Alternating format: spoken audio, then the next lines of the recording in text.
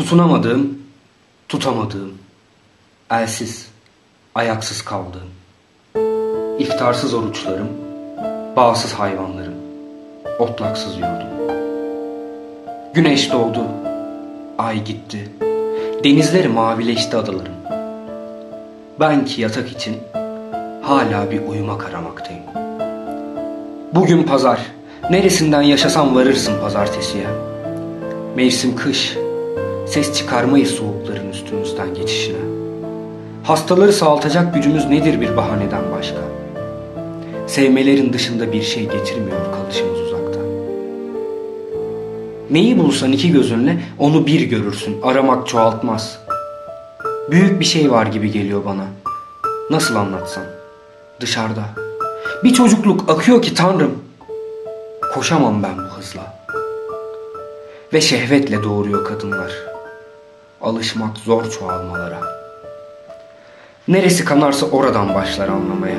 İnsan hiç şaşırtmaz. Keçi yolları geçirmez deveyi lakin. Lakin çaresizlik kılavuzdur yolsuza. Bir ormanın sisi, kaç yol kaybediş, kaç tehlike, kaç kurt eder.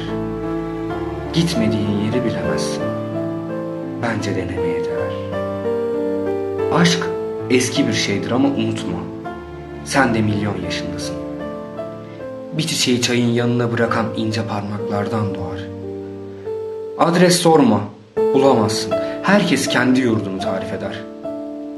Tuhaf yağmurlar altındadır insan.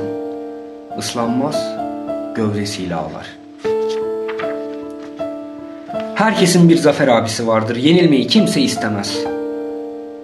Her gün kalkar cenazesi. İçime dolan buluttan anlarım. Oysa nedir yenilgi? Hayata bir aralık bırakmaktan başka. Büyük bir şey var gibi geliyor bana. Nasıl anlatsam? Bütün bunlarda. Yine açar mı sarmaşıklar? Yine güzel bir gün için mutlu evlerde. Var bir çocuk başı bende. Dönüp bakar her bisiklet geçende. Yani anlıyor muyum bilmiyorum. Niçin bir şeyler geç kalır? Ve yüzüm aynı kalmaz. Havalar yakında düzelecek dediklerinde. Öksüzden damıtılmış bir damla acı yer bırakmaz en sağlamda çürümedik. Güzenikliğe büyüyen diken çekinmez bakmaktan hiçbir göze. İşte cümle kapısından biri daha çıkıyor. Bir kral başı ellerinde. Kesmeden olmaz. Her fetih bir baş içindir. Başımız dursun diye yerinde. Her tohum bir kitapla düşer diyor Ahmet amca. Her toprak bir okul. Bir akşama yedi düvel gelse her biri kendi güzeliyle uyur. Çalgıcının sarhoş başı çalgısından içer en keskin şarabı.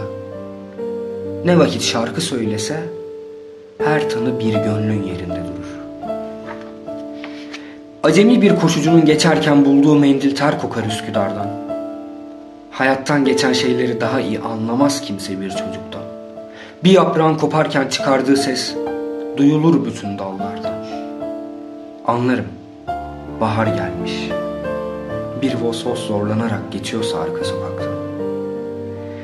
Doktor odasında bekleyen hastalar saf saf olmuş resimlere bakarlar. Mesela tavşanlar uzaktan geçiyor, imkansız kılıyorlar bir avcının tüfeğini. Sonra bir toz yükselir, kadınlar oda oda, ellerinde temizlik bezleri. Sükunete kimse aldırmaz. Ama ne çıkar bundan? Odur hepimizin erdemi. Bir bombanın patlama anında heykele dönmüş atlar durur meydanlarda. Bir şiiri nasıl yazarlar bilmem. Üç kelime yeter dünyayı anlatmaya. Kavşaktaki kazada iki beden. Sarılmış ölmeden az önce birbirine. Gene de vazoya yer arar. Genç sevgili. Bulunmak için en sağlam güzelliğinden. Herkesin bir yalnızı olur. Karanlık arttıkça kandil kandil yanar. Uzaktan şehre bakan her dalgın sanır evlerde şenlik var. Yarasını açan çocuğun dikkatindeki safiyet bir yiğitten daha cevval.